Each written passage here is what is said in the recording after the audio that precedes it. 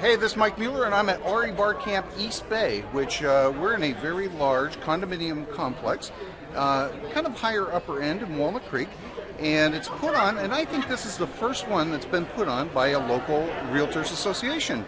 Uh, Contra Costa Association of Realtors, in part, is putting this on with a whole lot of help from their friends.